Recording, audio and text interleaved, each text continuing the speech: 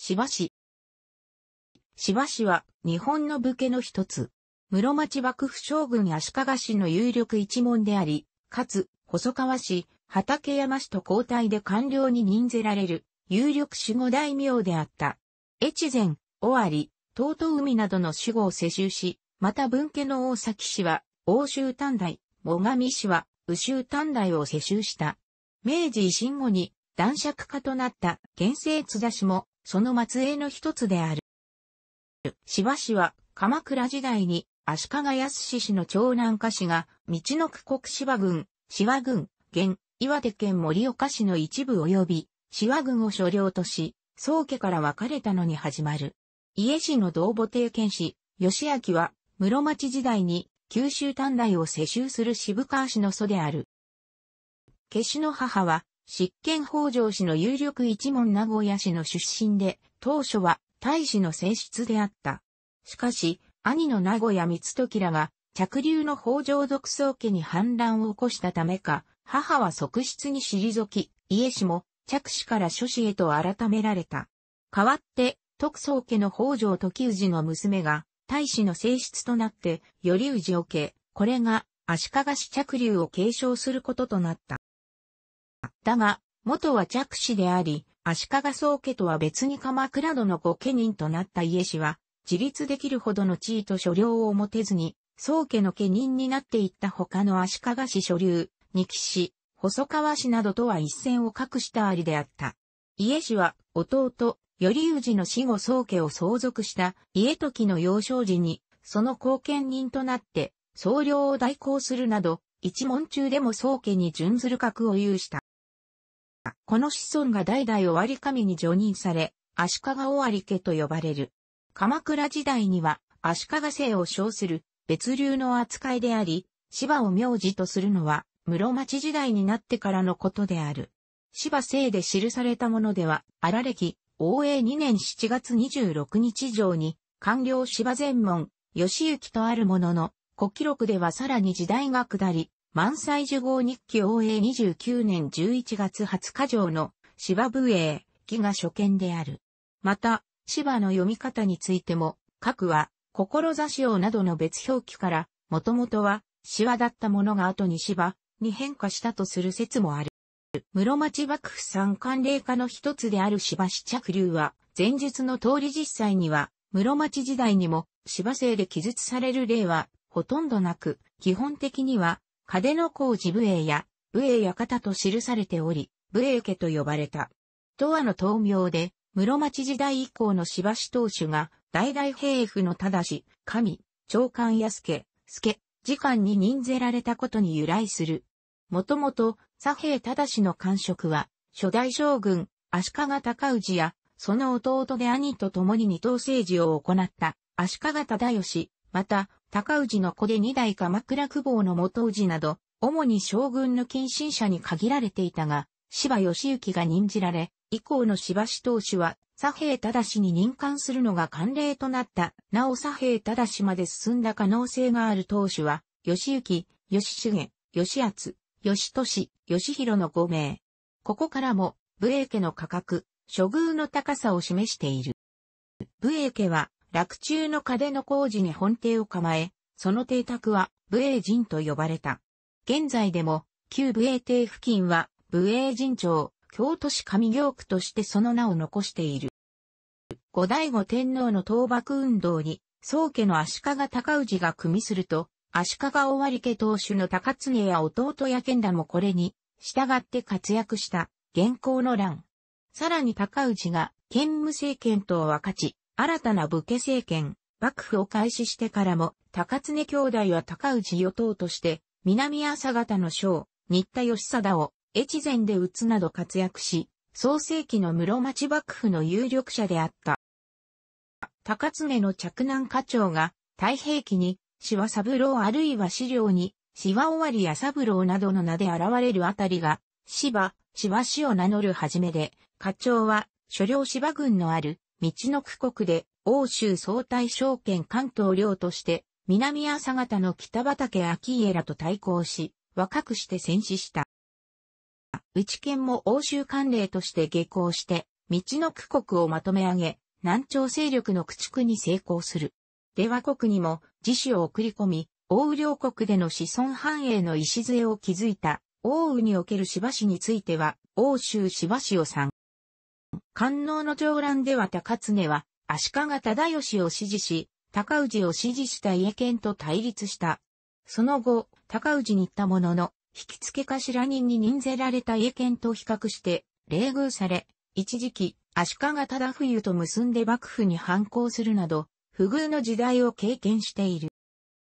高氏の死後、芝氏は二代将軍、吉明の執事に任用されるようになった。しかし、執事とは、宗家の家政機関であり、高諸直に至るまでの代々の出自は、足利宗家不代の家来講師の務めるところであった。つまり、出自につくことは、格下、従者の扱いを受けるということであり、しばしは、宗家とほぼ同格という意識を持つため、出自への就任を打診された、高常や三男氏よりはこれを渋っていた。結局、わずか13歳の四男義行を出自につけ、高常がこれを貢献する形が取られた。しかしこの頃から、執事職は単に、足利宗家の家政機関として、家領や従者を管理する立場を超え、幕政に参与する有力守護大名の座長的性格を持つ官僚職へと形を変え、しばしば幕府の主導権を握ることとなる。また、執事、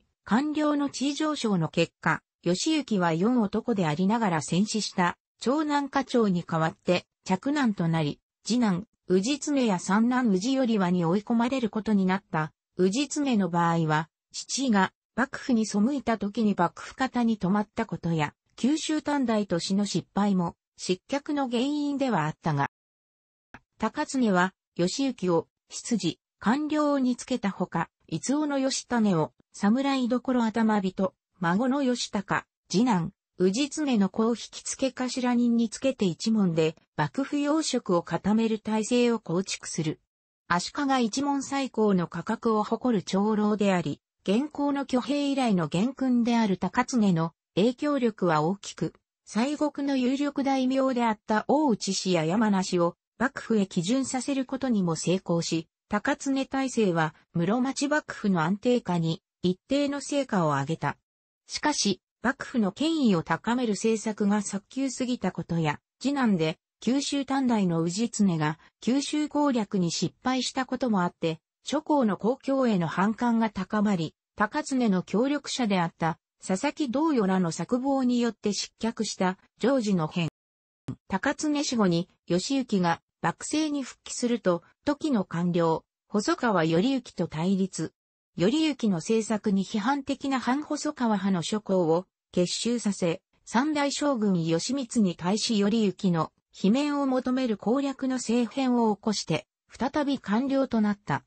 義行は将軍義満と幕府前世時代を支え続け、義満の没後も四代将軍義持を補佐した。この間、朝廷から打診のあった義満に対する大乗天皇の追号を拒否したり、屈辱的との批判が多かった官合貿易の廃止を提言するなど、攻略の政変以降自身の島で、およそ30年間にわたって、幕府の宿老として大きな影響力を持った。また三官令史式七党の姓ができると、しばしは、畠山氏、細川氏と共に官僚を出す家柄、特に三官令筆頭の家柄として重んじられた。義行の小義重は、応永6年、1399年の応永の乱における大内氏討伐の功により終わり守護職を、さらに後には東東海守護職も加えられて、以後はこれに本領であった越前を合わせた三カ国の守護をよした。応永17年、1410年、宿老として長年にわたり、幕府に大きな影響力を与えていた義行が没すると、義重の子義厚は官僚職を解任されてしまう。応永21年、1414年には、義行の老い満主、義種の子が、将軍、義持の不況をかぶり、加賀守護職を失って、高野山に引退。永享元年、1429年に足利義則が六代将軍に就任すると義康が再び官僚となった強権的な政治を行う義則とな政策を目指す。義敦は相入れず、義敦はたびたび官僚の辞職を申し出ている。やがて着男義豊にも先立たれ心身ともに疲弊した。義敦は3年後の影響を4年、1432年に、領や官僚の辞任を許され、翌影響5年、1433年に病没する。義敦の皇子となった弟義号やその子の義賢も相次いで創生し、その間に勢力を伸ばした細川氏や畠山氏に押され、武衛家は大きく後退してしまう。細川氏が機内を抑え、畠山氏も機内近辺に文国を有すのに対して、武衛家の文国は、尾張、越前といった京都から遠い場所に分散していた上、当主は京都に滞在していることが多かったため、支配は守護代に委任せざるを得なかった。このため次第に、文国の実権は、越前守護代開始、朝倉氏や尾張守護代を頭の重臣らに牛耳られるようになっていった。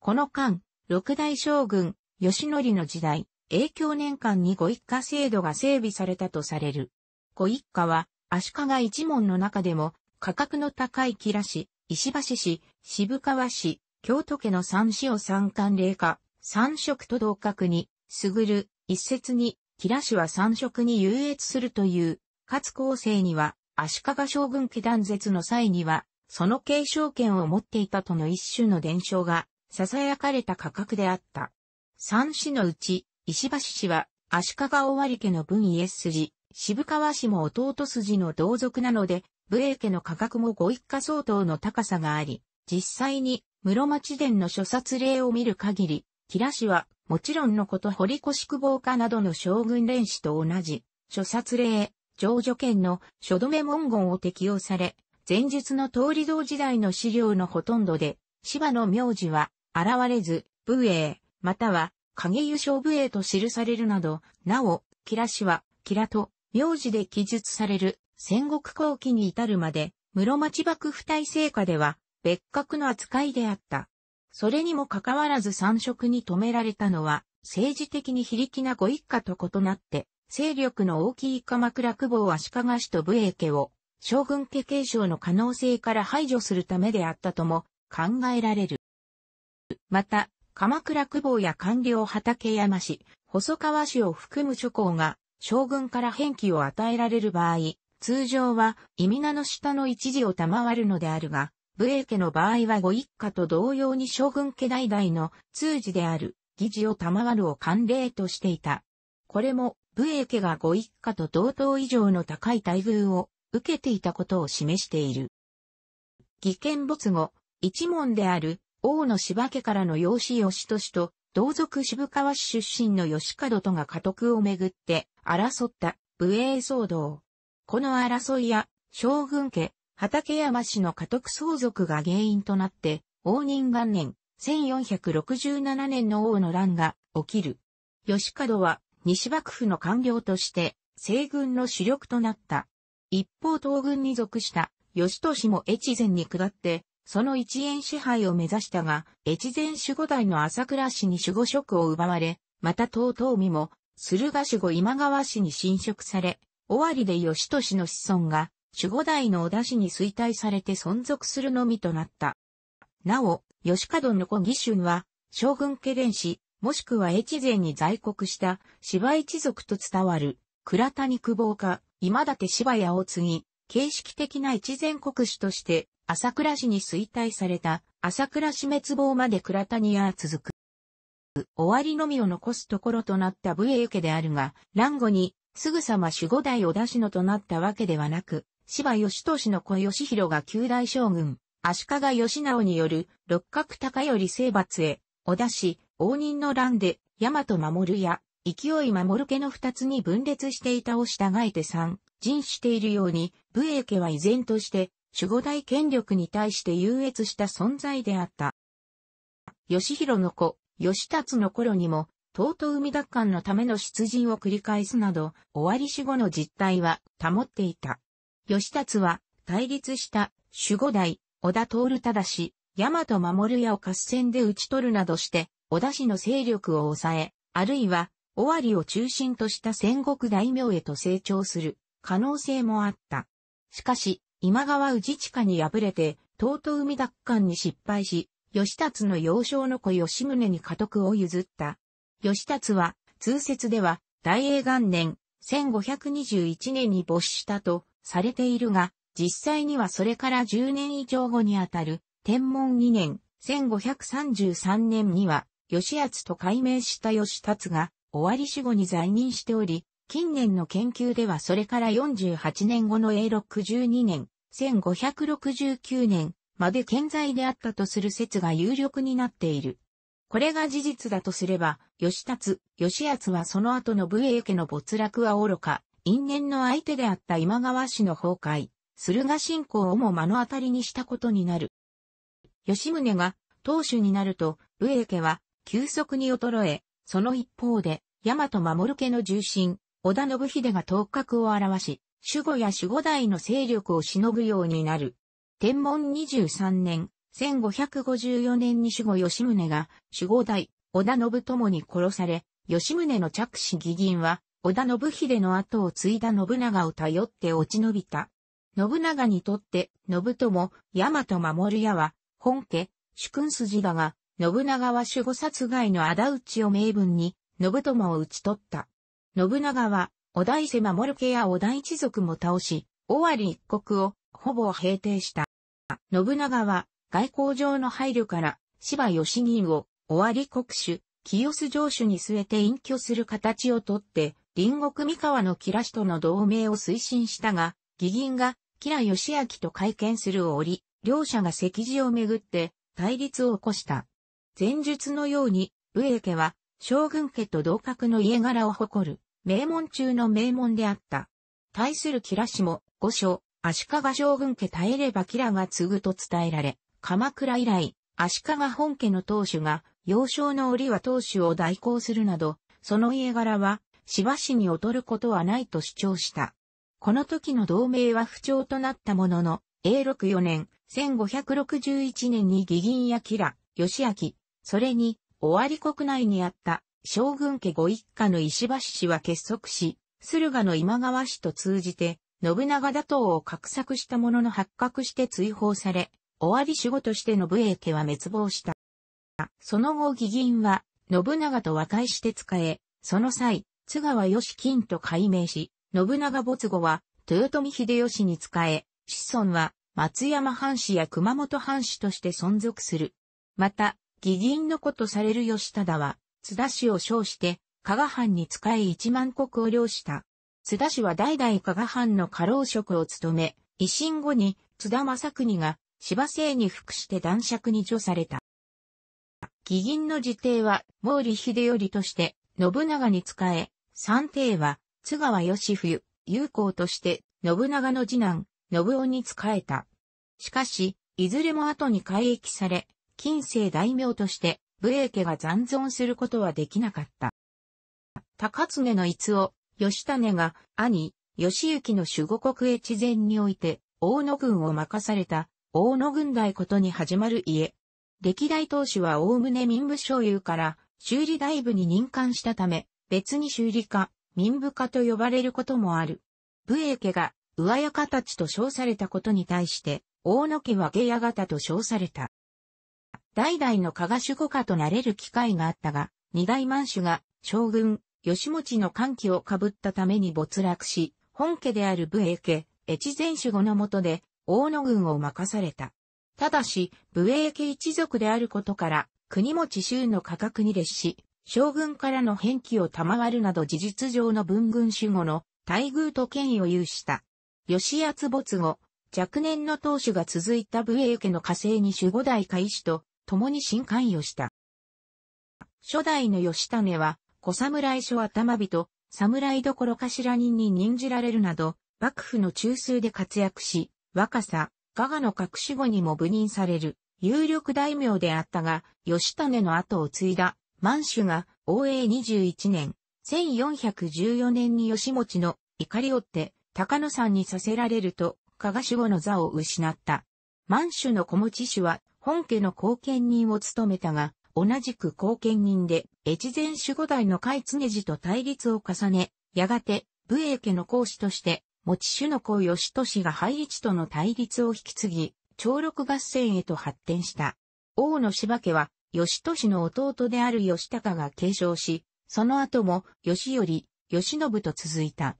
義高は、老いで、武衛家当主の義弘、義俊の着手の武将として活躍したことで知られる。また王の柴家からは、満州の子、宇治種から奥田氏が分かれ、戦国期に堀氏を称するようになり、江戸時代に越後村松藩主となったとされる堀血隊。また後に、阿波徳島藩主となる八須賀氏は、持ち主の子聖主、正種友の後衛とも言われる。高常の次男、氏常の系統とされる。欧州余丸目記録に記される、越前芝四家のうちの末の殿に相当する家と考えられる。幕府の戸様衆の価格に列し、後に義俊の子である義延、義信、義長が継承したと言われる。系統不詳ではあるが、越前国今立軍安田に任し、王の柴家と同じく、越前国内の文軍守護的立場にあったとされる。欧州余目記録に記される、越前芝四家の筆頭格、越前芝殿に相当する家考えられる。欧州芝系図では、高水寺芝家より豪長が入り死したと伝わり、干渉から大英年間には、生面、活動期間が長期にわたるため、同盟の二大説ありの活動が見られる、大滝神社文書、上杉家文書等。一説に、将軍家連氏と伝わる、倉谷久保は、この今立柴家と同一であったと言われる。系統不詳。欧州余目記録に記される、越前芝四家のうちの五条殿に相当する家と考えられる。高水寺柴家関係資料である、冷え抜き上にその名が見えるため、欧州芝氏と何らかの関係があったものと思われる。王の三剣の系統化。越前国南中条軍潜伏に意し、欧州余目記録に記される、越前芝四家のうちの仙北殿に相当する家と考えられる。義俊の子である還元、広元と、お元が継承し、朝倉氏との合戦で討ち死にしたと言われる。その後は徐々に朝倉氏の参加に入り、天正期に、潜伏式部、大輔、道、東海守親子の活動が見られる。欧州芝氏は、欧州、宇州に定着した芝氏の所流を言う。高常の弟の芝家県の系統である大崎氏、最上氏、黒川氏、天童氏、もともとは、新太一門、高常長男の系統という高水寺芝家などがあり、特に、大崎、西条領氏は、大不良国の短大職を歴任した。芝氏は足利一門の筆頭の家柄を誇り、勢力も大きいことから着流である武衛家も欧州に拠点、持った芝氏の一門、大崎氏、最上氏、高水寺芝や天童氏などラモ当初は大いに栄えた。そもそも芝氏の名乗りの起源は、道のく芝軍とされており、欧州は芝氏にとっては本願である。南北朝時代の建武2年、1335年、芝課長が南朝川鎮守府将軍、北畠昭家を抑えるために、欧州総大将を任じられるが、足利高氏の子、足利義明の執事を務めていたため下校はしなかったとみられる。現地勢力である相馬氏などを味方につけたという。その後、欧州総大将は軍事指揮権だけでなく、剣断、沙汰の権限、韓国内の治療恩賞などの推挙権を持つ欧州官令に格上げされる。官能の上覧期には畑、山国氏、吉良忠やらが任ぜられたが、柴家県が官僚に任ぜられると四官僚並立の混乱期を平定し、子孫である大崎氏がやがて世襲する。王は南北朝時代に南朝の北畠昭家、北畠昭信らが軍ごとの有力黒人に軍事指揮権や剣断権など強い権限を与えた、文軍とも呼ばれる独自の制度を取ったため、南北朝の争いが終結した後も、非常に国人の力が強く、当初は有効に働いた欧州関連芝市の支配力も次第に衰えていく。芝市は大崎地方と道の区国府付近を実行支配し、大崎氏と呼ばれるようになった。大崎氏の権威低下に伴って、一時王は鎌倉府管内に編入されるが、幕府と鎌倉府の争いが激化し、欧州南藩に鎌倉久保の分家である笹川御所、稲村御所が設置されと、幕府は鎌倉府に対抗するため、欧州短大職を作り大崎氏を代々短大に任命する。短大は官僚と同じ権限を持ったと思われるが、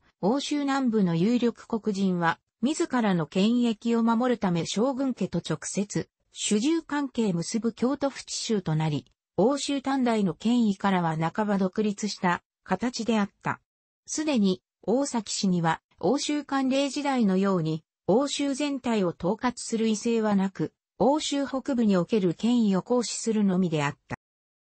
以後徐々に衰退した大崎氏は、足利道忠亡き後道の守護として、欧州南部に急速に勢力を拡大する、伊達種宗の圧力をまともに受けることとなった。大崎義直は、家中の騒乱を自力で鎮圧できず、種宗の支援を受けて鎮圧したが、種宗の子、義信を養子として送り込まれ従属した。天文の乱に乗じて、義信を排除して、伊達氏への吸収合併は、免れたもの、従属関係からの脱却には至らなかった。大崎義隆の代には、義弟の最上義光、弟の養父、黒川春氏の支援を受けて、伊達政宗の信仰を退けたが、大崎合戦、小田原征伐に参陣しなかったためと豊臣秀吉に改易された。大崎市急進は、義高の復帰を求めて、一期、葛西大崎一揆を起こしたが、ついに大名復帰は叶わなかった。義高は越後、または合図で不遇の死を遂げたといい、子孫は最上氏や南部氏に仕えたという。柴家県が四官僚並立を制し欧州官令の地位を確保すると、1356年次男、柴金頼を出羽国へ送り込み、金頼は南朝勢力を巧みに退けながら西条軍への勢力の腐食に成功する。出羽国における南朝側の最後の組織的な抵抗となった漆川の戦いには鎌倉久保、足利氏光と大崎氏も兵を出したという。室町幕府から館号を許され西条館を称するようになって、以降は最上氏を乗り、宇州短大を世襲する。しかし、分散配置した所流が次第に独立傾向を強めるなど一枚岩とは言えない状況となる。1385年お玉郡に本拠を持つ長井氏が滅ぼされると、伊達氏と接するようになり、1514年、伊達種宗の信仰を受け参加に組み込まれる。この時一時傀儡化されたが、天文の乱を機に独立を果たし、永禄6年、1563年、最上義盛は、着男、義光の返記授与のお礼言状のため、京に上り御所号で応対される。最上義光の家督継承時に、不死間で争いがあり、伊達氏や周辺黒人を巻き込む争いに発展する、天正西条の乱。この争いで戦いを優位に進めた義光は、家臣団の組織化に成功し、村山軍、西条軍に上国を広げ、庄内地方をめぐり上杉氏と激しく構想した。その後、秀吉の小田原征伐に参陣し西条軍、村山軍20万国余りの大名として、所領を安堵され、また、橋場姓、宇州丹大職を与えられた。秀吉の死後は、徳川家康に接近し、関ヶ原の戦いでは東軍に加わったため西軍の上杉景勝から攻撃され、窮地に立たされたが、関ヶ原本線での西軍敗北の方が届くと、上杉軍は撤退し、庄内地方の奪取にも成功、慶長では合戦。この功により、西条家は、西条軍、村山軍、庄内地方及び、百合軍を有する58万国の大大名に、列られた。しかし、孫の最上義俊の代に、お家騒動、西条騒動が起こり、江戸幕府の命により改易とされ、出羽国内所領を失い、大名としての最上氏の終焉のきっかけとなった。義春は改めて近江に一万国を与えられたが、義春の死後、この義地が幼少であったため五千国に減税られ、名目としての大名の地位も失ったが、子孫は交代より合いとして続いた。義春の叔父でお家騒動の原因でもあった山野辺義忠は徳川頼房に取り立てられ、子孫は水戸藩家老の山野辺家として続いた。高水寺城、現在の岩手県志和郡志和町高水寺を拠点に、栄えた芝市、欧州芝御所家の一族は1335年、鎌倉で廃止した芝課長の直系子孫だという。俗軍書類中には簡易な系図が挙げられているものの、裏付けとなる資料も乏しく、系図は必ずしもはっきりしていない。南北朝時代に高水事情によった芝一族は塩分年間1356年から1360年大間期間にあった南朝川河村市を次第に圧迫し、各して芝国一帯を参加に収めた芝市は足利市の血を引く記事であることから芝御所奥の芝殿と御子とされ、諸殺令でも大崎氏と同格であった。永享7年、1435年に発生した我がの大乱では、大崎氏の職務代行者として、北欧の諸氏を指揮している。奥南落ち坊州によれば、大崎氏七代、大崎則金の子、芝先行に始まるとされる。南部氏が天文9年、1540年に岩手郡に侵攻して、雫石、現在の岩手県岩手郡雫石町の戸沢市を攻略し、角館へ退去すると、これに対し芝仙公は、天文14年、1545年、南部市から大田、現在の岩手県盛岡市内、雫石地方を奪い取るなど、積極的な拡大を見せている。仙公は、着難、強戦に家督を継がせ、次男、先帝を、雫石から解消した雫石城、現在の岩手郡雫石町下町東に置き、三男、戦義を伊佐里城、現在の盛岡市伊佐里において、南部市の犯行に備えた。芝市の格式の高さから近隣では、本家は芝御所、または館の地名で高水寺御所、診療に配置された書士は同じく地名から、敵石御所、雫石御所、伊佐里御所と呼ばれた。また、和菓子や阿蘇沼市所流増沢白と婚姻関係や養子縁組を積極的に行い、大いに脅しを張った。だが後に南部市の圧力が増すと、芝先進は南部市24代、南部春正の圧力に屈して、南部一族の区のへしから矢五郎、後の子を実を婿として受け入れたが、先進の古戦時か、戦元の代になると確執して、矢五郎から改名した高田康史実は、天正14年、1586年、南部市26代、南部のブナオの下へ出奔する。それに対し先進は南部領へ攻め入るも南部軍の反撃に相逆に侵攻されてしまい、高水寺、千葉一族の雫石久明と伊佐里義恵は攻められて、本家の芝御所に逃れ、雫石御所並び伊佐里御所が滅ぼされる。結果冷え抜きした地合いのもとで、両家は和睦し、芝市は岩手郡見前、津市田、中野、飯岡の地、いずれも現在の盛岡市内を失ってしまう。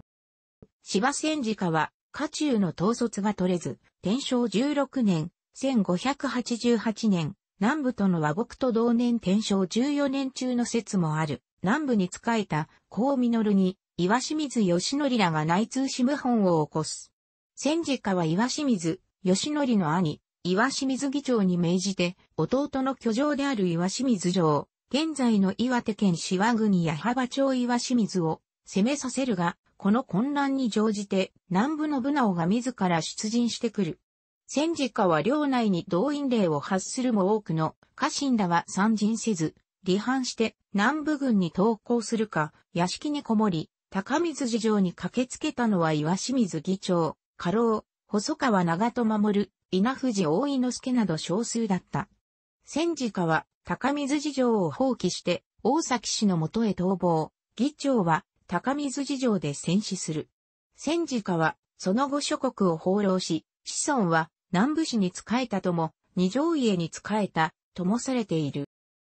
一方、俗軍書類中の欧州芝系図では、芝先行からの人物は記載されず、課長を祖として続いており、南部市の圧力により、領地を失い滅亡した当主も、戦直ではなく、芝線、森、兵部、大輔となっている。また、大家成系図では滅亡したのは、千元、欧州芝系図の千森の父とある。なお千元の子孫、芝義信は、水戸徳川家家臣になったものの乱心で死去したとする。岩手県史では、初記録、諸系図から、千元、戦時家、戦期の時に滅亡し、その子に、千森、孫に、千国があったとみなしている。太字は、室町幕府官僚、またはそれに準じたもの。課長以来の高水寺芝家の系図は、諸説あるため、芝先行以降を記す。初期の芝屋中においては、細川氏の一族と言われる、関宗氏、格差、関蔵ともう筆頭とし、二宮氏、源政、藤姓の二重あり、島田氏、海氏などが重心の位置にあったが、中期以降は、海氏が、筆頭、執事、執権となり、ついで、小田氏、その下に、朝倉氏が続いた。芝氏の終わり筆足後は、小田氏が筆頭となり、芝氏の滅亡まで火星を執権した。大崎市大崎市参加の人物を参照。最上市最上市主要家診断を参照。戦国時代のものを下記に挙げる。楽しくご覧になりましたら、購読と良いです。クリックしてください。